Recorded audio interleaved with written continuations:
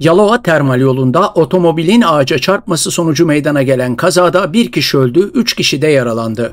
Alınan bilgiye göre gece saatlerinde Termal istikametinden Yalova istikametine seyreden MŞ idaresindeki 54 DV 106 plakalı otomobil Yeni Mahalle mevkinde kontrolden çıkarak ağaca çarptı. Kazada ön koltukta bulunan kadın yolcu Mürvet Gültaç olay yerinde feci şekilde can verdi. Kazada yaralanan 3 yaralı ise olay yerine gelen 112 acil servis ekipleri tarafından ambulanslarla Yalova Eğitim ve Araştırma Hastanesi'ne kaldırıldı. Yaşanan kaza anı ise çevredeki güvenlik kamerası tarafından an be an kaydedildi.